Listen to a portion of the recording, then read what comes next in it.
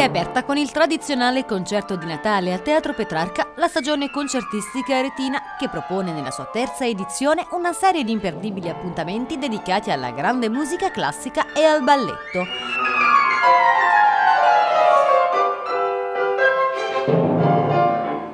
Sul palco del Petrarca l'orchestra di Padova e del Veneto diretta da Marco Angius con Alessandro Taverna al piano.